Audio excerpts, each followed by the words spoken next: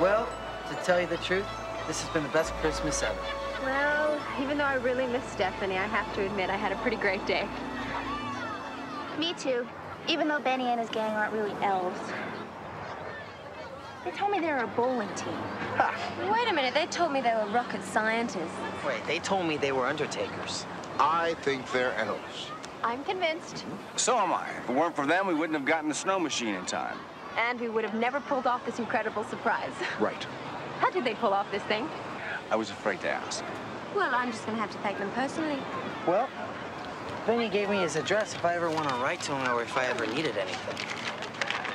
Wait a second, what is this? This is a Christmas wish list form. Oh my God, look at this. Look at this. Benny the elf, care of Kris Kringle? No! Yeah, right. I told you they were elves. Sure, elves. This is beautiful, Mitch. All that's missing is a Christmas carol. Silent night, holy night.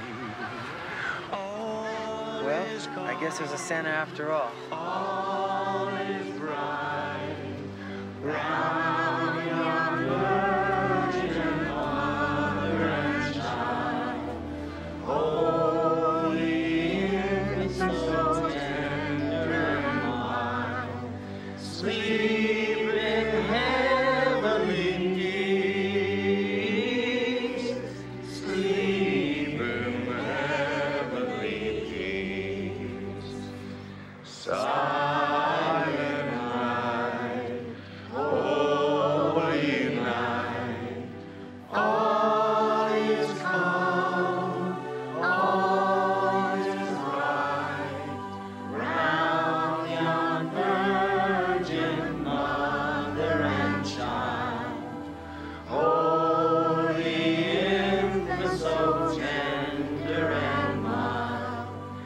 sweet.